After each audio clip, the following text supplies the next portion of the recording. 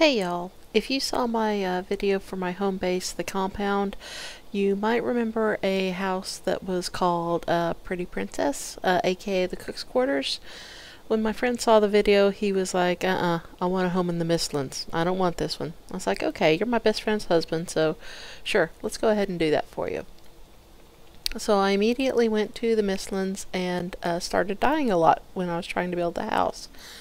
So um, I decided instead of doing that, I would build his home using Mistland materials, but I went to this nice intersection of uh, meadows, black forest, and mountain. And so let's go ahead and get started on the build. So down here in the basement, we have the workbench and the forge, which have uh, both just been updated to the point of uh, being useful. And then we have our storage area, nice organization. Over here is the home gym. We've got the Stairmaster, up, down, up, down, okay? You get the point. Uh, we have our bars for pull-ups or push-ups, whichever term you prefer.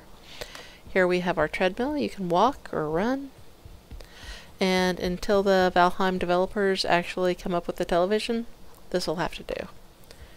And over here, next we have our punching bag. Uh, pardon me while I get a snack.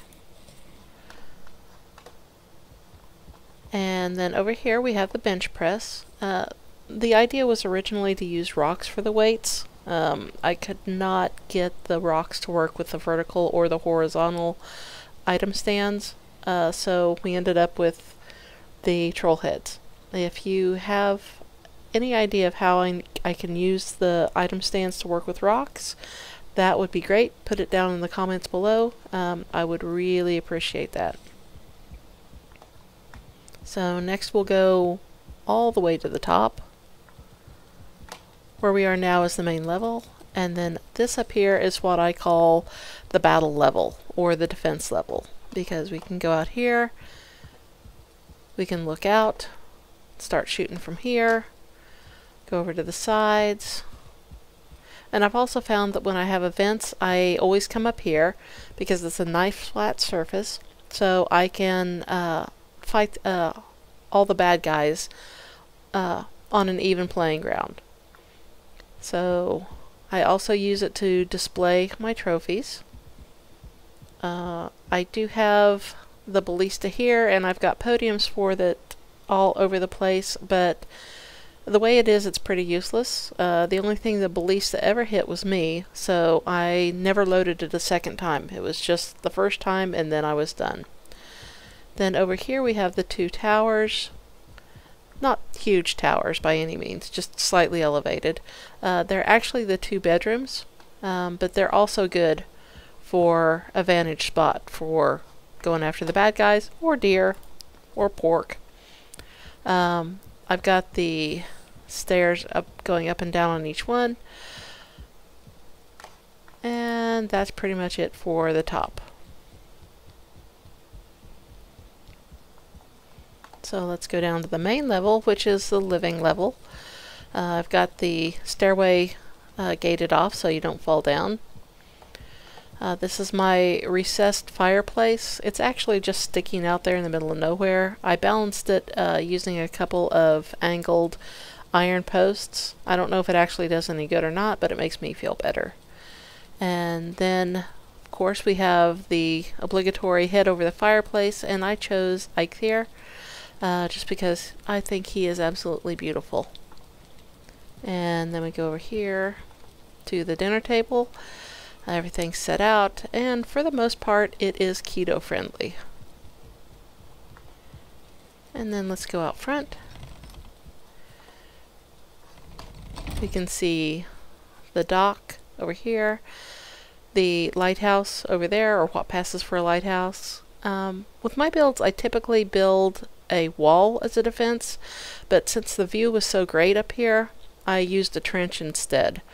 And um, one thing I've noticed is the troll attacks and the Grey Dwarf attacks really slowed down after I did the trench. Uh, prior to that, I was getting trolls probably every other game day, and troll, um, excuse me, Grey Dwarf attacks probably like every 10 minutes. Uh, since then, you know, the Grey Dwarfs have dropped by a couple times for tea and crumpets. Um, and I've had maybe three trolls total, and I finished this build probably a month ago. So I don't know if uh, the server decided the trench was not a good idea and limited me, or what's going on. But anyway, I just want to put that out there in case you're thinking, hey, trench is a good idea. Well, maybe it isn't. Um, and then up here, you will see that, and I will try to butcher this French phrase. I believe it is Jolie Princesse, Princesse Citadelle. Uh, it's the French translation, translation, sorry about that, for Pretty Princess Citadel. And the reason I call it that is because when I was down there building the dock, I looked up here and it's like, wow, that looks just like the castle in Monty Python and the Holy Grail where the French Frenchman lived. So here we go. We've got a French castle. Close the door. Over here is a custom-made table. What I do is just throw the post down, put a block, four blocks on either side, and then just rotate um, one by one floor tiles. And that's how I achieve this effect. And I think it's kind of cool. Uh, the flower pot is, of course, the Grey Dwarf Brute trophies inside the vertical item stands. And here we have a table for card games, board games, uh, doing your studies, uh, just any purpose whatsoever. And then over here we have the house pet. And his name is, sorry about that, Dumpster Tick my friends uh, have a cat, and one of them was found at or inside or near a dumpster, and their uncle gave the poor kitty the unfortunate nickname of Dumpster Cat. So we've got Dumpster Kid here, or Dumpster uh, Tick here. And let me tell you, Tick does not love you. Tick wants to kill you. Tick wants to suck all of your blood out. And he's got anger control issues um, as well because uh, I've had to uh, repair this crate many, many, many times. Uh, so, anyway, that's Dumpster Tick. And here we have the library, or a small bookshelf, I guess. Um, this is one of the uh, seekers that I was actually able to defeat instead of let it kill me. So he has to be on display. And then we've got some potions, and then we've got uh, spell books and potion books and things like that with their Surtling Trophy bookends, and then more potions at the top. And you'll notice that the Galdr table and Black Forge are sitting up raised. I wanted this featured so that anybody who walked into the house would know that magic is practiced here. Then we have a nice glass corridor looking at the other side. Occasionally gray dwarfs will fall in there and then I have to go in and kill them. Uh, otherwise they break the crystal.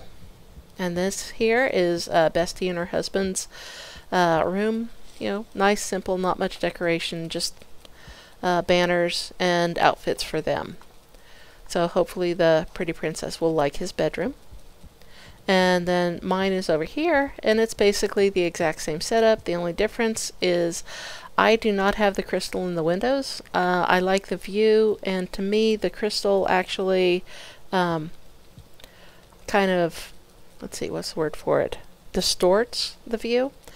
Uh, but my friend prefers the um, crystal to be in there because she thinks that uh, things in Valheim will come in to kill her if they're not closed up. And I can't really say that I blame her for thinking that.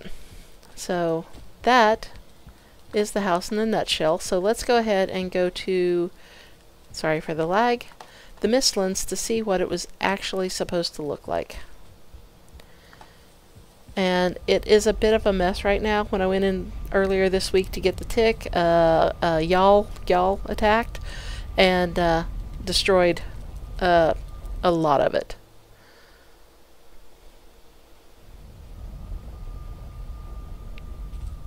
So here we go. In here, this was intended to be the grand entrance.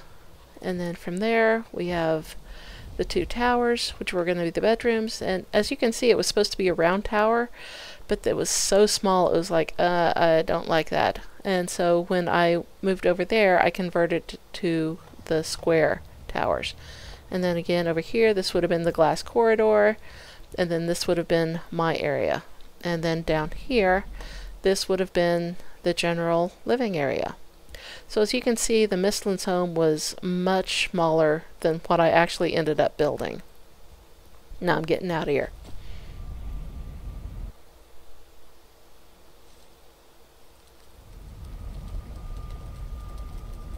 So, this is the not Mistlands home build for the Pretty Princess. If you have any questions or comments, uh, please leave them below. Thanks, everybody. Bye.